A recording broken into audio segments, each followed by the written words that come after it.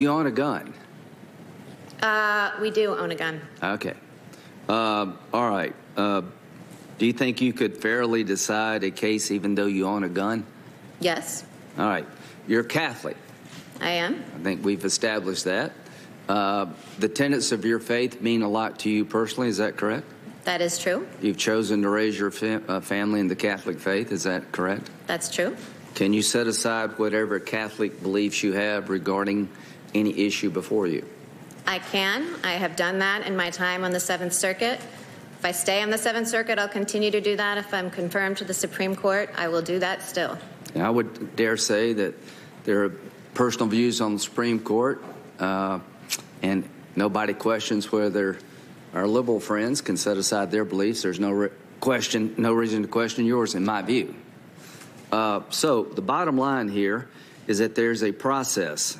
You fill in the blanks, whether it's about guns in Heller, abortion rights. Let's go to Citizens United. To my good friend Senator Whitehouse, me and you are going to come closer and closer about regulating money because I don't know what's going on out there, but I can tell you there's a lot of money being raised in this campaign. I'd like to know where the hell some of it's coming from. But that's not your problem. Citizens United says what?